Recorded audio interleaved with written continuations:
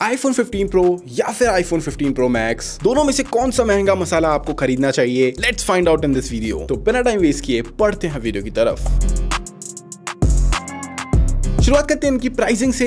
IPhone 15 pro एक लाख पैंतीस हज़ार में one twenty eight GB offer करता है। वहीं आईफोन 15 प्रो मैक्स एक लाख साठ हज़ार रुपए में दो सौ छप्पन जीबी ऑफ़र करता है। चलो बात कर लेते हैं इनके डिज़ाइन एंड बिल्ड की। दोनों फ़ोन का जो डिज़ाइन है, ये एक्जैक्टली सेम है। इनकी बिल्ड क्वालिटी में कोई भी डिफरेंस नहीं है। सेम टाइटेनियम फ्रेम मिलता है सेम बटन पोजिशनिंग मिल जाती है। पीछे glass back glossy camera module वही एक्शन बटन वही डायनामिक आइलैंड वही टाइप सी पोर्ट यानी कि सारी की सारी चीज़ें आपको एक्जैक्टली सेम मिल रही है। यहाँ पे आपको डिफरेंस मिलेगा। इन दोनों की साइज़ का। IPhone 15 pro 5.77 inches height 2.78 inches with और 8.3 mm थिक आता है, जो कि 187 ग्राम्स का है। वहीं 15 pro max 6.30 height 3.02 inches with और 8.3 mm के साथ 221 ग्राम्स के वेट के साथ आता है। ये दोनों ही फोन्स अपनी पुरानी जनरेशन यानी कि 14 प्रो और 14 प्रो मैक्स से 19 ग्राम्स हल्के हो चुके हैं because of this titanium frame अब अगर मैं इनहैंड फील की बात करूँ तो आईफोन 15 प्रो का इनहैंड फील बहुत ही ज़्यादा प्रीमियम है। मतलब फ़ोन का जो साइज़ है, ये बहुत ज़्यादा आइडियल है। एक हाथ से इस फ़ोन को आराम से यूज़ कर सकते हो। बटन पोजिशनिंग भी बहुत अच्छी है, जो कि गर्ल्स एंड बॉयज़ दोनों के लिए यूज़ करने के लिए प्रैक्टिकल बना देता है। वहीं अगर बात करूँ 15 प्रो मैक्स की तो भाई ये फ़ोन बहुत ज़्यादा बड़ा है। इसको, इस वाले फ़ोन को आप एक हाथ से नहीं यूज़ कर सकते। हो आपको इसके कंट्रोल सेंटर को या फिर नोटिफिकेशन सेंटर को खोलने के लिए दोनों हाथों का यूज़ करना पड़ेगा। इसी के साथ फ़ोन काफ़ी ज़्यादा वाइडर भी है। तो आपको इस चीज़ का ध्यान रखना पड़ेगा। अगर आप 15 प्रो मैक्स की तरफ़ जाते हो तो एटलीस्ट आपके डिसेंट साइज़ के हाथ होने चाहिए। छोटे होंगे तो भाई ऐसा लगेगा कि आप आईपैड यूज़ कर रहे हो। अब यहाँ पे एक डिफरेंस और मिल जाता है। जैसे कि आप सबको पता होगा, इस बार का जो एक बैक पैनल वाला ग्लास है, इसको काफ़ी ज़्यादा इजी रिपेयर बना दिया है एप्पल ने, जिसकी वजह से भाई पीछे का जो ग्लास है, बहुत इजीली ब्रेक हो जाता है। जब हमने इनके बैंड टेस्ट के वीडियोस देखे तो हमने वहाँ पे देखा आईफोन 15 प्रो मैक्स भाई बिल्कुल जरा से एक झटके से ही ब्रेक हो चुका था। लेकिन वहीं जब आईफोन 15 प्रो का किया गया तो भाई वहाँ पे बहुत ज़्यादा मेहनत लगी और इस पे कुछ नहीं हुआ। इसका सिंपल सा रीजन है, इसके जो इंटरनल कॉम्पोनेंट्स हैं, उनकी पोजिशन को थोड़ा इधर उधर किया गया है, जिसकी वजह से भाई आईफोन 15 प्रो मैक्स के बाद बहुत सारा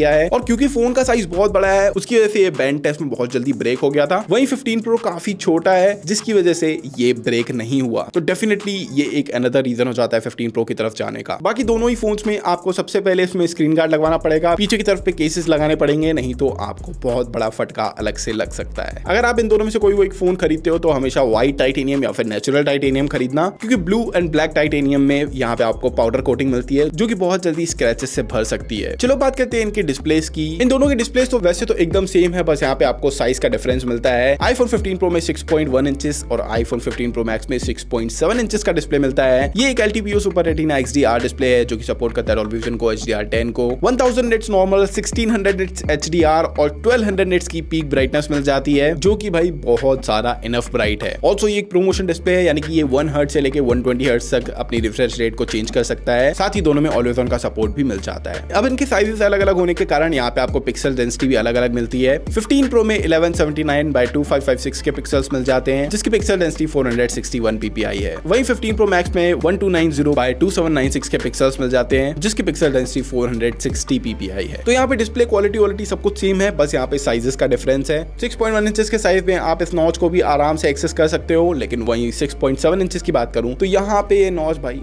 तो एक हाथ से हो भी नहीं रहा। मतलब दो हाथों की ज़रूरत पड़ेगी इसका डिस्प्ले पूरी तरीके से एक्सेस करने के लिए। अब बात करें इनके चिपसेट की तो यहाँ पे चिपसेट पे कोई भी डिफरेंस नहीं है। दोनों में ही A17 प्रो चिपसेट मिलता है, दोनों में ही सेम सॉफ्टवेयर हार्डवेयर वगैरह मिलता है आपको तो यहाँ पे कोई भी डिफरेंस नहीं है। जो परफॉर्मेंस इसमें मिलेगी सेम उसमें मिलेगी। वो जो पीएस वाले गेम्स है, वो आराम से आप दोनों ही फ़ोन में खेल सकते हो। अब देखो, यहाँ पे ना ये आपके यूज़ के ऊपर डिपेंड करता है। अगर आपको गेमिंग करनी है तो मैं रिकमेंड करूँगा, बड़ी स्क्रीन की तरफ़ जाओ 15 प्रो मैक्स की तरफ़ जाओ। एडिटिंग करनी है, थोड़ी बहुत एडिटिंग करनी है, तब तो आप 15 प्रो की तरफ़ जा सकते हो। लेकिन अगर थोड़ी प्रोफेशनल एडिटिंग करनी है तो उसके लिए भाई स्पेस थोड़ा सा ज़्यादा लगता है। वहाँ पे आपको लूमा फ्यूजन जैसे एप्लीकेशन को यूज़ करना पड़ेगा। तो मैं रिकमेंड करूँगा, तब आपको आईफोन 15 प्रो मैक्स की तरफ़ जाना चाहिए बिकॉज़ थोड़ा सा ज़्यादा स्पेस मिलेगा आपको तो एडिटिंग करने में काफ़ी कन्वीनियंट होगा। ऑल्सो अगर आप कॉन्टेंट वॉचिंग काफ़ी ज़्यादा करते हो, तब मैं 15 प्रो मैक्स रिकमेंड करूँगा बिकॉज़ कंटेंट वॉचिंग में बड़े डिस्प्ले का मज़ा ही कुछ और होता है। हालाँकि अगर आप सिर्फ़ कॉन्टेंट वॉचिंग के लिए 15 प्रो मैक्स देख रहे हो तो भाई एक बार फ़ोन को हाथ में एक्सपीरियंस करके ज़रूर देख लेना बिकॉज़ फ़ोन बड़ा है मतलब कि नॉर्मल साइज़ का फ़ोन नहीं है, या फिर अगर आप 6.7 इंचेस के आपने अगर एंड्रॉइड फ़ोन उठाए होंगे तो वैसा नहीं है बिकॉज़ इसकी विथ ज़्यादा है, जिसकी वजह से भाई ये काफ़ी बड़ा फ़ोन फील होता है। तो डेफिनेटली भी अगर ये लेने का सोच रहे हो तो एक बार इसको एक्सपीरियंस करके ज़रूर देख लेना। चलो, बात कर लेते हैं इनकी बैटरीज की।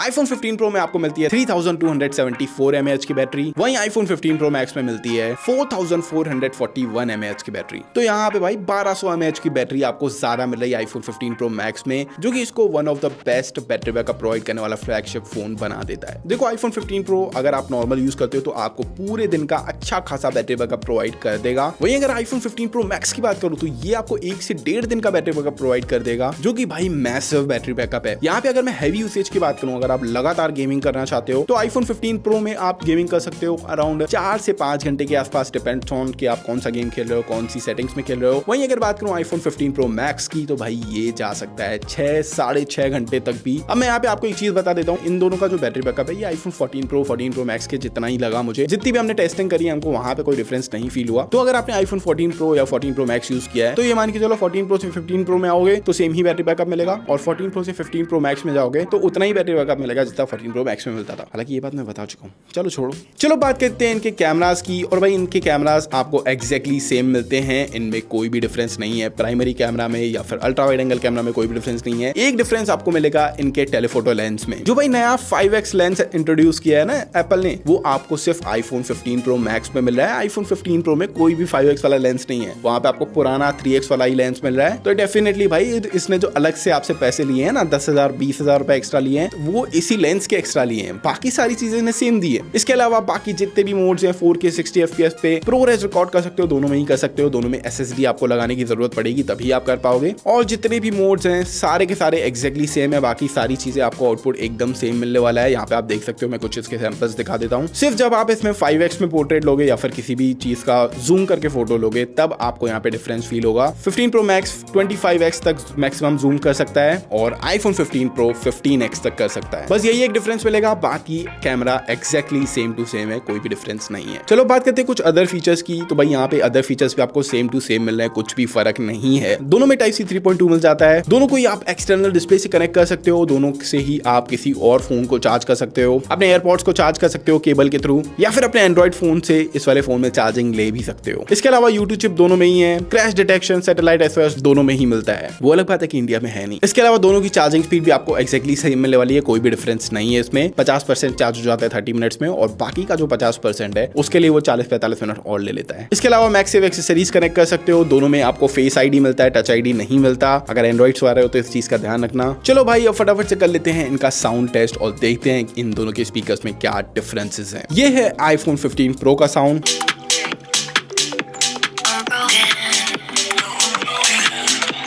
ये है आईफोन 15 प्रो मैक्स का साउंड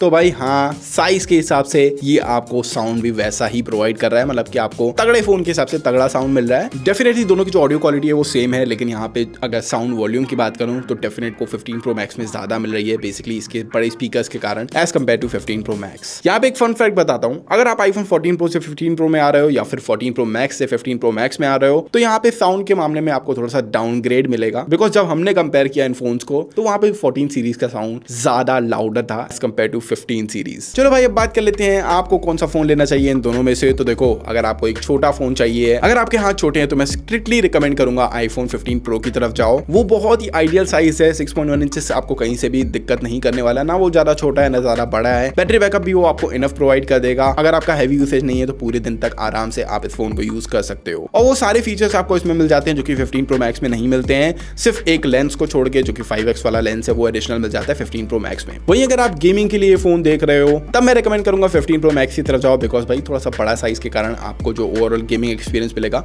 वो थोड़ा सा ज़्यादा बेटर मिलता है। ऑल्सो यहाँ पे आपको बैटरी बैकअप भी बहुत अमेजिंग मिलने वाला है, जो कि आपका गेमिंग एक्सपीरियंस और ओवरऑल यूसेज एक्सपीरियंस को और भी ज़्यादा एनहेंस कर देता है। हाँ बस एक चीज़ का ध्यान रखना 15 प्रो थोड़ा सा ज़्यादा मज़बूत हो जाता है as compare to 15 pro max तो इस चीज़ को दिमाग में रख के ही अपना डिसीज़न लेना। बाकी अगर आपको 5x वाला कैमरा चाहिए कैमरा फोटोग्राफी भी करते हो और एडिशनल उस वाले लेंस की ज़रूरत है, तब आप जा सकते हो 15 प्रो मैक्स की तरफ़। तो यही था आज का हमारा वीडियो आई होप वीडियो पसंद आया होगा। पसंद आया तो लाइक कर देना चैनल सब्सक्राइब कर देना और बेलाइकन ज़रूर दबा देना ताकि वीडियो नोटिफिकेशन आप तक सबसे पहले पहुँचे। तो मैं बताऊँ नेक्स्ट वीडियो में, तब तक के लिए बाय